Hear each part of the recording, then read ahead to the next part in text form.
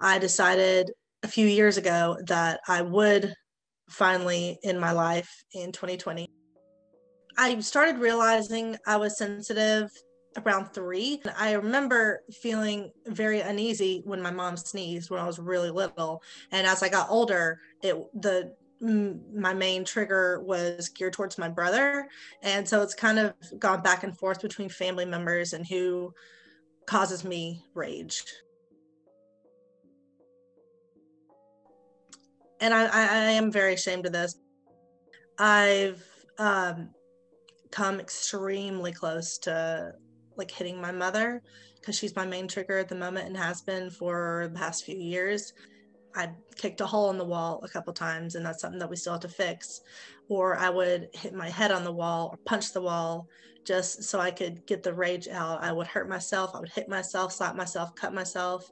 I have scars because I feel like not only did I need to get all that heat anger and rage out, but I felt like I deserved it. I didn't want to do that to my family, but I couldn't take this horrible feeling of not wanting to be around my family, not being able to have a good relationship, wondering how I would ever have an intimate relationship with a partner and be able to, you know, involve them to be in my family and how that was going to play out. I didn't want to be judged or think of as like, oh, that's weird or something. That was always a fear of mine because I always felt ostracized and different for it.